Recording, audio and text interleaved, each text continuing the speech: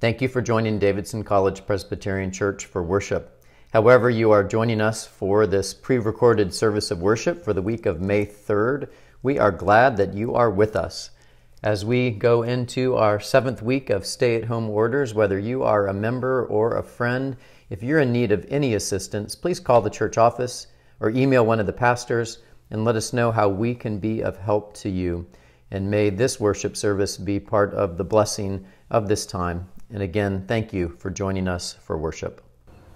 Good morning, everybody, and welcome to worship on this third Sunday of Easter. Let's gather to praise God's holy name. We're going to start out with Blessed be your name.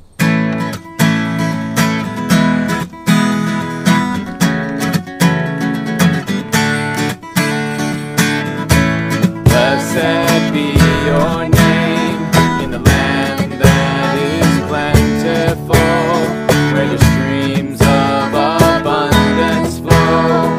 Blessed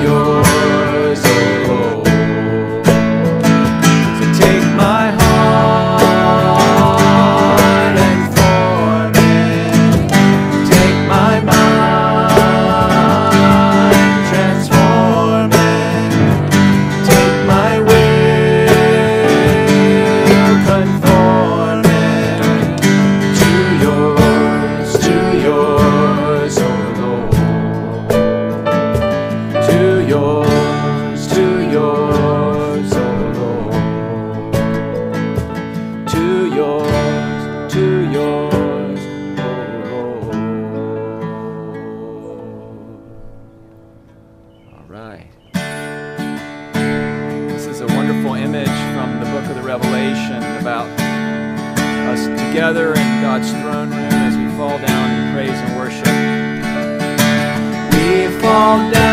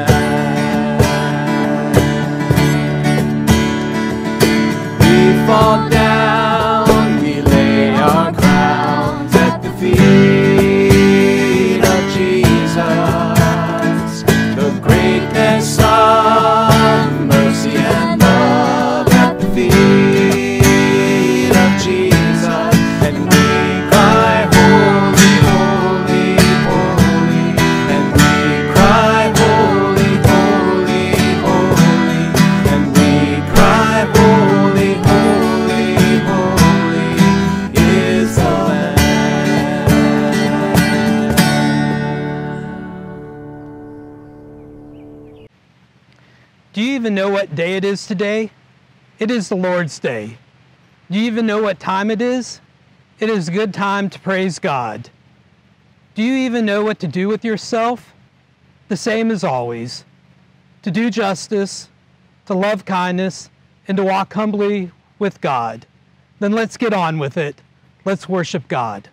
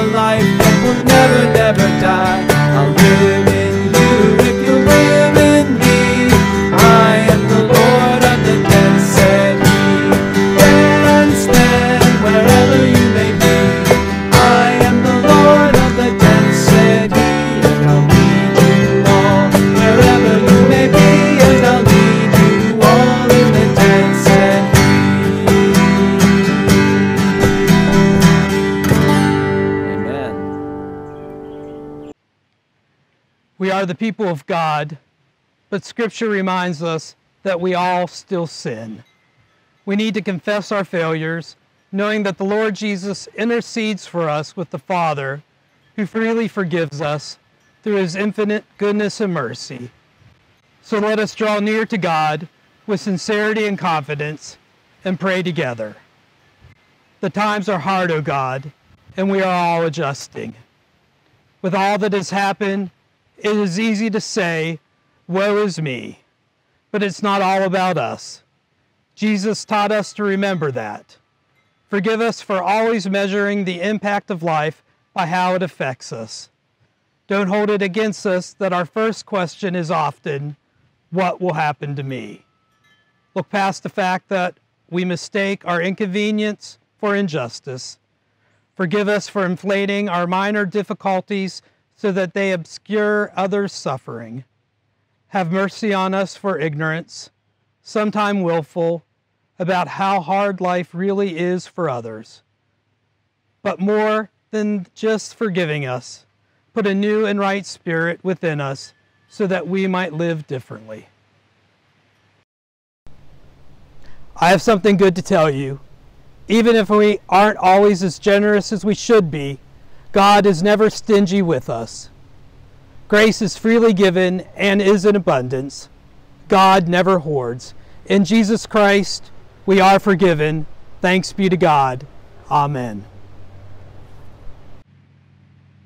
Welcome to worship at Davidson College Presbyterian Church in Davidson, North Carolina. We are glad you found our online and radio worship and welcome you especially if you are virtually visiting with us today. In the midst of all that is going on around us in the world today, DCPC is here for you. If you need a listening ear or other kinds of support, please reach out to the church staff whose contact information can be found on the church website, dcpc.org. Life goes on at DCPC and its ministries are still happening. Thank you for your ongoing financial support of the church. There are a variety of ways to give. You can mail your check to the church, make a gift online, give by texting DCPC at 73256, or use your Realm app. Thank you for your generosity. Faith formation is still thriving at DCPC. All of our classes are still going on. Your faith formation committees are planning for fall activities as we speak. If you want more information on how you can plug in to the life of the church and faith formation activities, please email me at john at jryan at dcpc.org. Located in Ciudad Sandino, the most densely populated city in Nicaragua and one of the poorest, the Jubilee House community works to promote sustainable agriculture, sustainable economic development, healthcare, and education. Here now from Sarah Junkin Woodard, one of the founders of Jubilee House and one of our mission partners, on an important update on their work in the midst of COVID 19.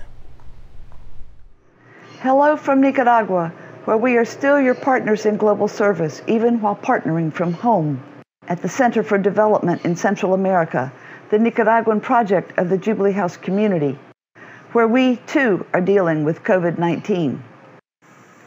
Our neighbors and friends grieve with us for you in the U.S. with your high COVID count, while here, with only a few confirmed cases so far, the nation is actively trying to prevent any spread. In work with an organic agricultural cooperative, the farmers are growing sesame, processing it, but their shipments are getting held up due to COVID delays. Then there are peanuts and coffee, which you can direct order for delivery to your door even while you shelter at home. The CDCA provides support through the VITA Fund from which the cooperative can borrow, especially needed as delays directly impact farming families at the most basic of levels. In healthcare, our Nueva Vida Clinic is still open, serving general patients, prenatal and pediatric care, providing therapeutic help, medicine, including for ongoing chronic care, and dentistry. With the need for social distancing, our vision clinic and our group activities are currently suspended. What are we, the Jubilee House community members, doing? We are sheltering at home, in particular those of us over 65. But that has not made us inactive.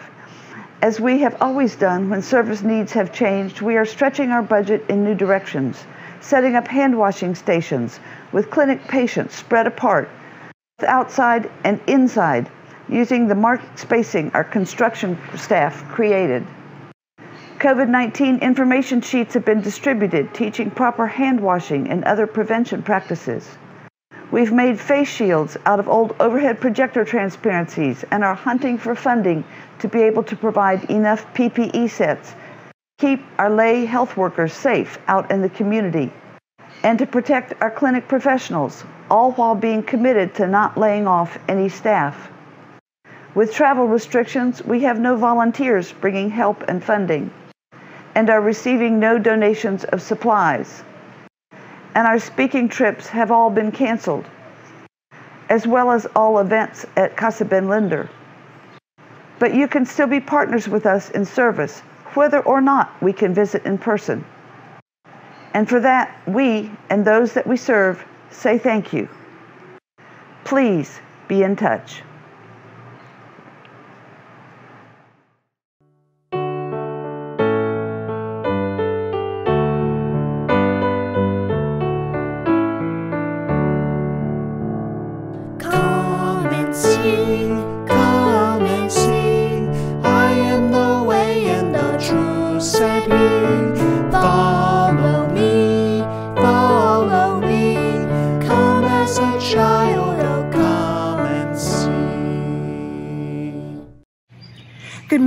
DCPC friends.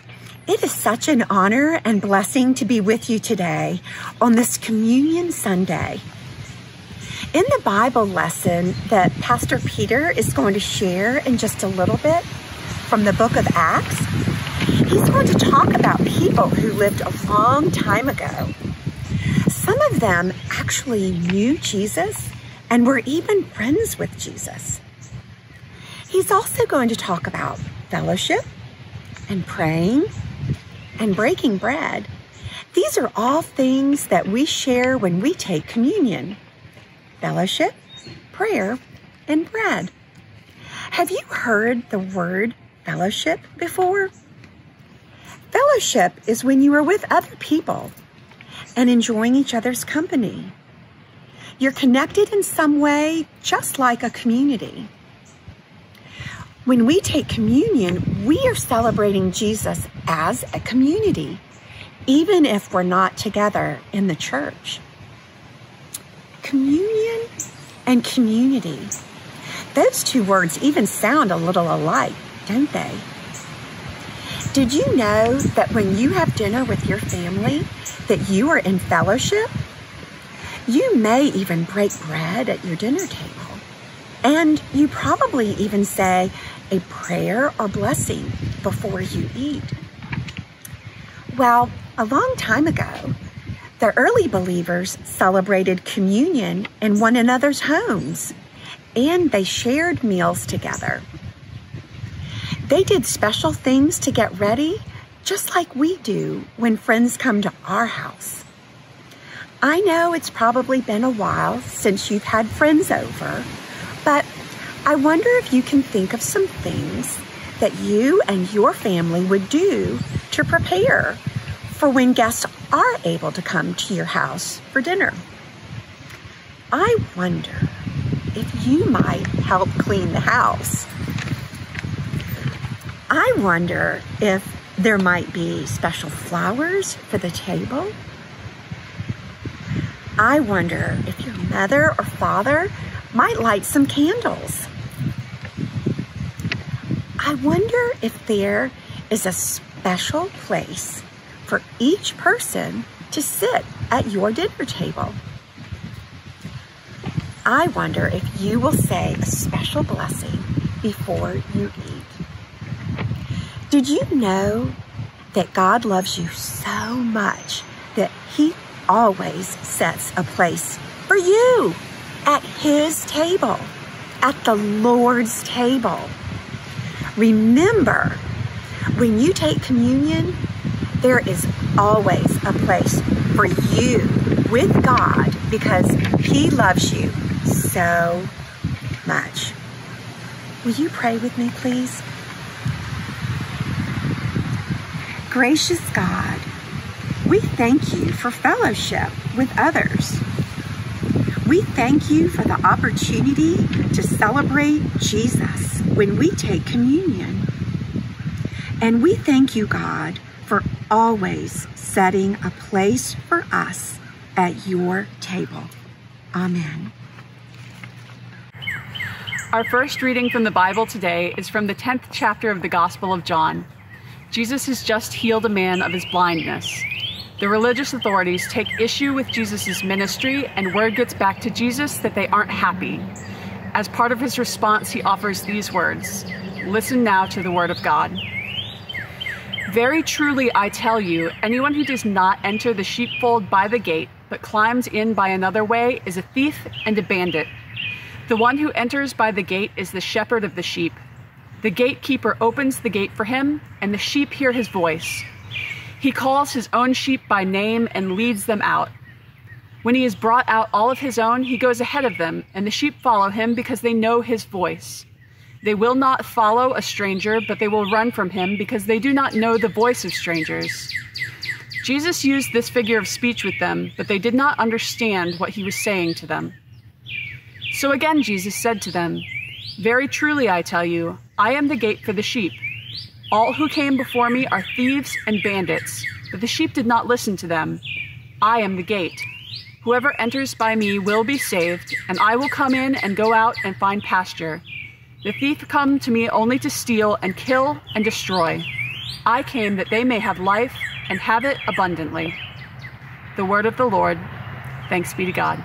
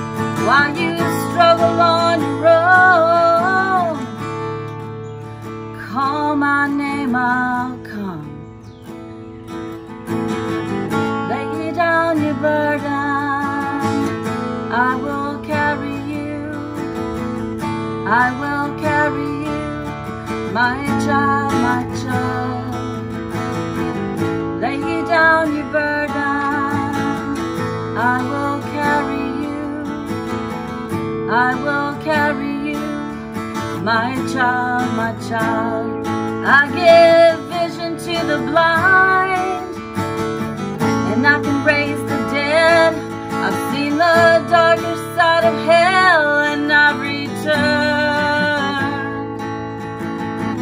And I've seen those sleepless nights, and I count every tear you cry.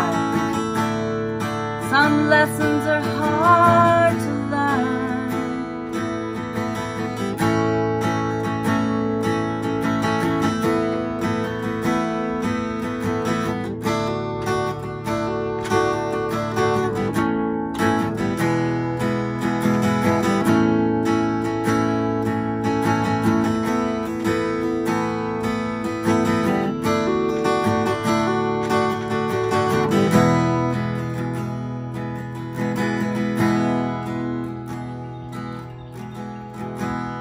down your burden, I will carry you.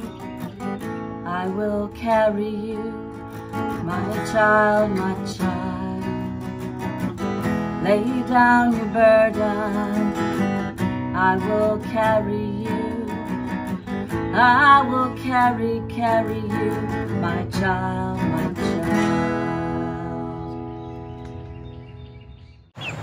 Our first reading from the Bible today comes from the book of Acts. This book of the Bible tells about the life of the Christian church in the first months and early years, months after Jesus was raised from the dead. Our reading is shortly after the first leader of the church, Peter, preached a sermon that helped 3,000 people become believers in Jesus. Listen now to the Word of God as we hear about those first few days for the early Christians. They devoted themselves to the apostles, teaching and fellowship, to the breaking of bread and the prayers. Awe came upon everyone because of many wonders and signs were being done by the apostles. All who believed were together and had all things in common. They would sell their possessions and goods and distribute the proceeds to all, as any had need. Day by day, as they spent much time together in the temple, they broke bread at home and ate their food with glad and generous hearts, praising God and having the goodwill of all the people. And day by day, the Lord added to their number those who were being saved. The word of the Lord. Thanks be to God.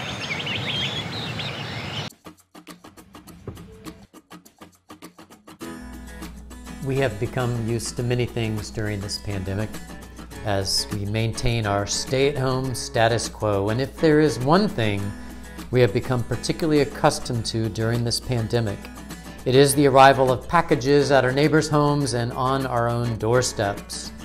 From groceries to books and toilet paper, along with hair dye, pulse oximeters, and disinfectants, we have no shortage of companies willing to limit our exposure to the coronavirus by bringing us all of our needs right to our doors.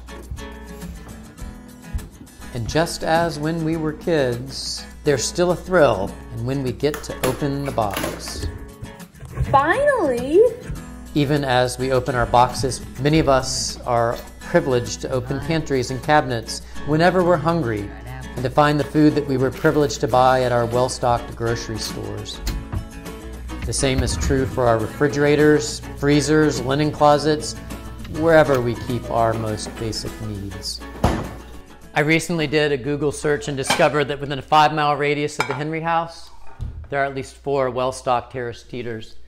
Within that same five mile radius, miles upon miles of greenways and hiking trails, walking trails, opportunities for the Henrys to get that essential exercise that's encouraged during these stay at home orders. When it comes to my circle of friends here in the Davidson area, most everybody I know is transitioned to working from home. It's inconvenient, but our white collar jobs make it possible. Meanwhile, in that same circle of friends, I don't know anybody who's caught the coronavirus in the wider circle of Henry friends and family around the country and globe. Only one family I know of got the virus, they've recovered. And meanwhile, our social distancing dance goes on. When it comes to that social distancing dance, our experience, many of us, it points to the truth of what New York Times columnist Charles Blow recently wrote in one of his pieces when he said that social distancing is a luxury. It's inconvenient to be sure, but it is a luxury. And it is a luxury that is not doled out equally, not in terms of economics and not in terms of race. About this luxury of social distancing, Blow writes this People like to say that the coronavirus is no respecter of race, class, or country. And in theory, that's true. But in practice, in the real world, this virus behaves like others, screeching like a heat seeking missile toward the most vulnerable in society. This happens not because it prefers them, but because the most vulnerable are more exposed, they are more feeble, they are more ill. Now, what that vulnerable population looks like differs from country to country, Blow acknowledges. But in America, this question of vulnerability, it intersects with race and with poverty. Blow concludes by noting that fewer than one in five African Americans can work from home, and only about one in six Latinos are able to work from home. This pandemic It has cast a harsh light on what many of us knew about the American landscape, even if we weren't comfortable saying it aloud. That there are incredible chasms, deep and wide, that separate so many of us economically and racially. About those chasms, we learned a little bit more in St. Louis in the opening weeks of the pandemic, where 64% of the earliest deaths were African Americans.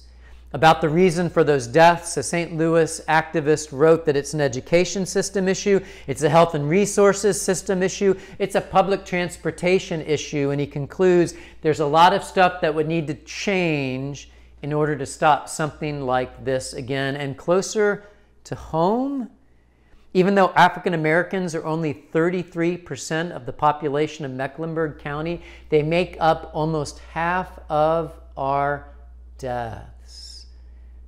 These statistics bear out the truth of an old aphorism that was shared in a recent New Yorker article. The aphorism is when white America catches a cold, black America gets pneumonia, but now it has a new twist. When white Americans catch the novel coronavirus, black Americans die.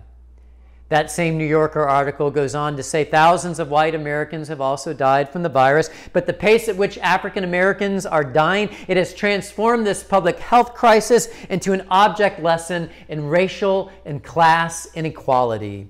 According to a Reuters report, African Americans are more likely to die of COVID 19 than any other group in the U.S. It's still early in the pandemic. The demographic data is incomplete, but the partial view is enough to prompt a sober reflection on this bitter harvest of American racism.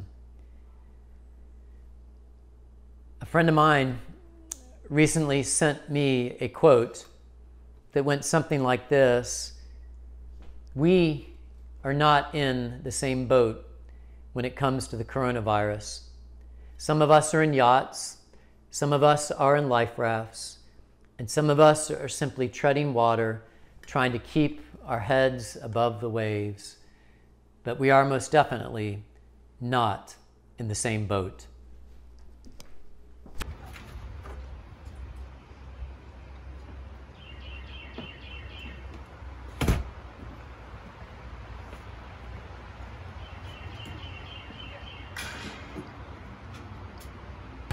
For those of us who are not among the 26 million Americans who lost their job to the coronavirus, for those of us who have reliable internet access for our work, for our children's education, for those of us who are able to stay at home in well stocked houses with access to the out of doors, for those of us who don't have to venture out, risk our health and the health of our families especially when some of that health is already fragile. For those of us with kids who are talking about going off to college for the first time this fall or returning to college, it's safe to say we are not in the same boat as so many Americans who are threatened by the stormy seas upon which they have to ride out this coronavirus. But the good news about the God whom we worship is that from creation to Christ to second coming, our God is one for whom threatening waters are no threat. We worship a God who calms the seas and a God who pulls people into the boat. We get a sense of this calming, active God in our reading from the book of Acts today as we hear about believers who devoted themselves to teaching, the teaching of Christ, the teaching of disciples. They broke bread together. Disciples who had glad and generous hearts, held everything in common, sold what they had, shared the proceeds with any as had need. An early church that received the approbation of all who knew of their ministry for one another. We shouldn't be surprised by this early church, knowing that all of these first believers were Jewish. And it was out of their Jewish roots that they had received a systemic, a corporate concern for widows, for orphans, for the economically disadvantaged, for the aliens and strangers among them. This inheritance from the Old Testament, these disciples of Jesus and their Jewish faith. And now, in the transformed, renewed body of Christ called the early church, when the church had widows and orphans and people who were no longer at home, no longer able to provide for themselves, having journeyed to Jerusalem and become followers of Christ during that Jewish festival of the Pentecost, when people had need, at a time when there was no sense of collective care, when you only took care of your own in that first century Roman world, church stepped up. The church made a difference. This is the witness of our reading from the book of Acts today. Now, what about us? What about us at a time when there are chasms and divides racially and economically, chasms exposed by this coronavirus epidemic? What for us, as people with glad and generous hearts, who know the call of Christ to live in a way that reflects our gratitude and our concern collectively for all? Well, it's certainly true that we have to respond as we are able with what we have and where we are, and as the times dictate. We've seen the church do that before down at the border in San Diego when walls divided Christians across the Mexico American border. Pastors from either side meeting at the fence, sharing communion together when walls sought to keep them apart. We've seen it as Christians create organizations to try and bridge digital divides at a time when so many students are expected to do things online and yet don't have the resources. There are those who've stepped up to cross those divides and make the opportunities equitable across those chasms of economics and race. But it needs to be more than leaving food on the front porch of the congregation house, as important as that is, as helpful it is, is and we thank you for everyone who's been able to do that. But our response to these disparities in the United States, it needs to be more than donating food, more than donating money, as helpful and as important as that is. And we're grateful for everybody who's asked, how can we help? Those of you who are able have asked, where can we give our stimulus check? For those who felt called to do that, we're grateful. We're grateful that you felt called and able to give to Ada Jenkins, to other mission partners, to the Davidson Community Foundation, with which so many of our members are involved. But our response on the other side of this pandemic, it needs to be more than donating food. It needs to be more than donating money. And the good news is the church has done more in the past. That's included the action of a small church I know of in the Detroit area, where one of the greatest gaps in health and wealth in the United States was between the suburbs and the east side of Detroit small church I knew of decided that rather than go in and out of that east side, that they would encourage their members to move to the neighborhoods they wanted to transform. They moved the church to those same neighborhoods, developed relationships with those they wanted to help, becoming brothers and sisters together in the effort. The church has done more. In Florida, some number of years ago, Presbyterians going out to visit with farm workers found people in virtual servitude and slavery. They helped those captives to be released, to be cared for in ways that they deserved. Presbyterians partnered with others in putting pressure on a major corporation to pay more money to the people who picked the produce for the fast food restaurants that many of us visit in order to feed our families. It was Presbyterians who changed the pay structure and the ways in which that company made a difference in the lives of workers who desperately needed higher wages. The church has done more in the past, and we need that more than ever because we live in a country at a time when people are allowed to become billionaires multiple times over. We live in a country at a time when there are CEOs making millions of dollars, hundreds of times more than the average worker and their corporations. We're living at a time where people are cut off from their health care when they most need it. We're living at a time when multi million dollar companies are able to receive loans from the Small Business Administration when small mom and pop shops are threatening to shutter because of their needs. And this, this is a time when perhaps that argument for universal basic income is one that we should and could heed We who follow a Christ whose first followers held all things in common and shared the proceeds with any as had need. Now, I'm not an economist. I didn't stay at a Holiday Inn Express last night. I am a theologian. Uh, but this economic system in which we live, with the disparities of race and class, it is rife with sin that benefits some of us at the expense of others. Now, to call this system one that is rife with sin sounds harsh to some, I know, but it is the truth. It's a truth that many of us maybe didn't want to admit fully, but now we can't avoid it. This systemic national sin of the economic and racial disparities of the United States. And now, with that truth in hand, we can be set free from that sin, as Jesus said. You'll know the truth, and the truth will set you free. But more than us, that truth will set our neighbors free, those who are enslaved by poverty and injustice because of the system that holds them fast, a system that benefits so many of the rest of us.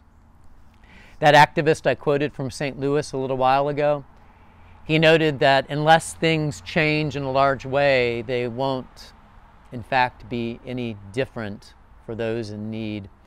And this gets to something I wanted to talk about today, which is the question of what we're hoping for on the other side of the pandemic. If what we're hoping for is going back to normal, that's a kind of hope but it's not biblical hope. It's not our Christian hope. Our hope isn't returning to systems, decaying systems, decaying systems that held people in places of injustice and disparity. Our Christian hope is in a redeemed and a resurrected and a transformed humanity. That is our Easter hope.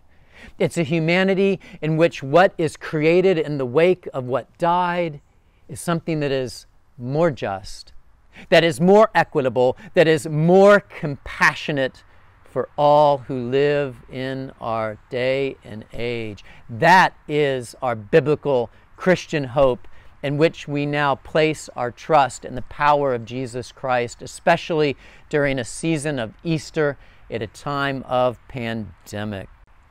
Now, I know that having conversations about being in a place of privilege, they are uncomfortable. There are many of you who have expressed to me your sense of relief and gratitude for the way that you and we can ride out this storm. But you have also talked about your sense of guilt that the system has allowed it to be this way, and that the divides of race and class in America enable more and more of us to be unaware or to choose to ignore the privilege that we enjoy. And as uncomfortable as those questions about privilege may be, they are part of the calling of those who follow Jesus Christ. We who hear the stories from the book of Acts about the first Christians, who with glad and generous hearts held all things in common, sold their goods, distributed the proceeds to any as had need. We need to be willing to sit with the discomfort, to remember those first Christians who came to their tables and to the Lord's table and knew them inextricably linked, who are willing to ask about the heavily laden table of God's grace, the table of our provision, and for those of us who know about the empty tables around, of uh, us, around us, we need to be willing to ask what we're going to do about the disparity between our tables, the Lord's table, and the empty tables in the country and world in which we live. We need to ask ourselves what we're going to do about it. And then, with glad and generous hearts, we need to put ourselves into service in the name of Jesus Christ, who is able to keep people's heads above the threatening waves and to pull all of us to the Lord's table, and in so doing, pull all of us back into the same boat. In the name of the Father, and the Son, and the Holy Spirit, amen. Hey, everybody, come to the table. It's time to eat. Come on in. We're coming together today around our table like we do every day. And we're joining with people in our congregation and around the world who join at their tables every day. And the table before us is one that we're used to sitting at. We're not always used to having communion at this table. But these are the tables that the original church gathered around when they remembered the sacrifice of Jesus, when they remembered his love for us. I was reading the other day um, the story of the journey to Emmaus that's recorded in Luke when the disciples are going to Emmaus and Jesus comes up beside them. This is the day that he was raised from the dead, and they didn't recognize him at first, but when they invited him in and they sat together around their table and they broke bread together, they recognized him. And I guess my prayer is that we would recognize God's presence with us, not only today, but every time we sit down and eat together. And that we would recognize each other, that we would see clearly each other and love each other. So that's the invitation today that we all come together and that we are open to the moving of the Holy Spirit that binds us together and connects us wherever we are or whenever we are because we are the body of Christ. So before we pray together, I wonder if there's anything that you would like to pray about today. Claire? Um, just the pretty weather. Okay. Jenny? For children and youth who are missing normalcy. How about you, Madeline? Uh, for healthcare workers. Okay. Ian? Our friends in Kenya and Nicaragua. Great. And I want to pray for um, us as a congregation to be able to to hear um, the message of God's love and to respond to that faithfully. So. So let's pray together as we uh, prepare for this meal, the Lord's Supper. God of grace, we thank you for the blessing of this day. We thank you for the gift of time together around this table. We thank you that you have invited us, creating us in love and calling us to be your faithful people in this time and place. Lord, we thank you that um, throughout history you've continued to proclaim your message of love, and that in the fullness of time you sent Jesus to teach and to heal and to proclaim the kingdom of God at hand. Um, we thank you that he was willing to go to the cross and to the tomb and to be raised from death to new life, defeating sin and death, so that we might enjoy the good news and the promise of resurrection life. We thank you, Lord, for the power of your Spirit, which binds us together and sends us out and um, nourishes us in our life of faith. Lord, we lift up the prayers of your people today, praying for our world and for our nation and for our community where there's been much heartache and pain. We pray that you would encourage your people who are struggling um, who are having um, periods of sadness and grief due to loss and sickness. We pray for healthcare workers that are on the front lines battling this pandemic, and we pray for those who are who are sick and who are hurting. We pray for our partners around the world in Kenya and Nicaragua and other places where we have contact bless them as they are struggling in these times as well. Remind them that we are together. We pray for children and young people that are missing the normal activities of life, school, and playing with friends and enjoying um, sports activities and, and other extracurriculars. We pray, Lord, that you would um, bless them and strengthen them even as they are missing important celebrations. Help us all to find ways to continue to celebrate important milestones and to celebrate community. As we gather here at this table, Lord, remind us of your sacrificial love and grace.